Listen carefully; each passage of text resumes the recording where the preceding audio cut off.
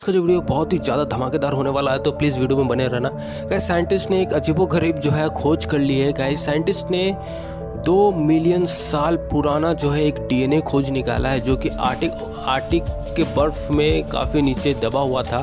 और guys scientist का ऐसा कहना है कि ये जो डीएनए है, ये किसी हाथी जैसा दिखने वाला मतलब हिरन या फिर मोस्टाडून्स जो होते हैं हो सकता है। तो गाइज़ मतलब कि साइंटिस्ट ने बहुत ही यार गजब कर दिया है कि मतलब इतना साल पुराना, दो मिलियन साल बहुत ही ज़्यादा होता है गाइज़ इतना साल पुराना जो है इसका डीएनए खोज निकाला है। गाइज़ क्या आपको इससे पहले ये बात पता थी? वीडियो वीडियो को लाइक कर देना चैनल को सब्सक्राइब ज़रूर कर देना, क्योंकि ऐसी वीडियो आपको इसी चैनल पर देखने को मिलेगी। और आप हमेशा कुछ नया सीखोगे। चलिए गाइज़ मिलते हैं किसी और धमाकेदार वीडियो में, तब तक के लिए जय हिंद, जय भारत।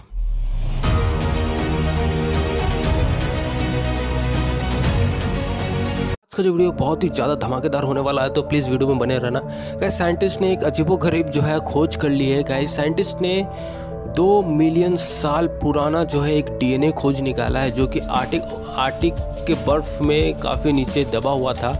और गाइज़ साइंटिस्ट का ऐसा कहना है कि ये जो डीएनए है, ये किसी हाथी जैसा दिखने वाला मतलब हिरन या फिर मोस्टाडून्स जो होते हैं इसका हो सकता है। तो गाइज़ मतलब कि साइंटिस्ट ने बहुत ही यार गजब कर दिया है कि मतलब इतना साल पुराना, दो मिलियन साल बहुत ही ज़्यादा होता है गाइज़ इतना साल पुराना जो है इसका डीएनए खोज निकाला है। गाइज़ क्या आपको इससे पहले ये बात पता थी? वीडियो वीडियो को लाइक कर देना चैनल को सब्सक्राइब ज़रूर कर देना, क्योंकि ऐसी वीडियो आपको इसी चैनल पर देखने को मिलेगी। और आप हमेशा कुछ नया सीखोगे।